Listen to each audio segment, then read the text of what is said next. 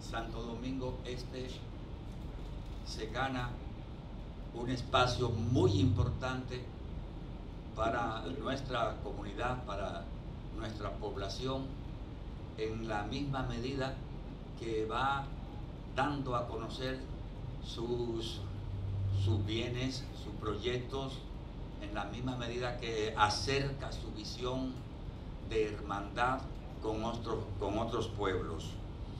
Arlington ya es una ciudad a la que nos parecemos y las pruebas y las muestras están a ojo vista que la licenciada Cintia Mota sea una funcionaria municipal de alto nivel como lo es, significa que nosotros ya nos sentimos representados en esa ciudad.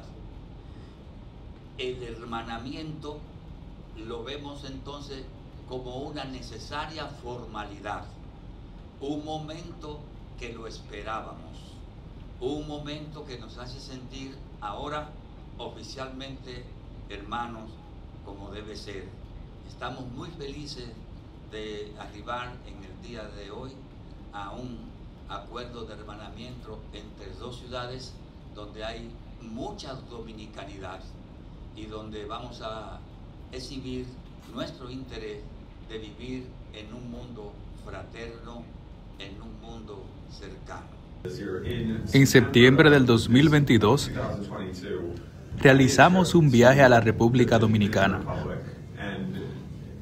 por una razón, entender mejor su cultura, su economía y el aporte que ellos hacen a la ciudad de Allentown. Tuve la oportunidad de conocer durante el viaje al alcalde de Santo Domingo Este, Manuel Jiménez, una estupenda persona. Nos dieron una estupenda bienvenida y realmente nos abrieron la idea de establecer una relación de ciudades hermanas.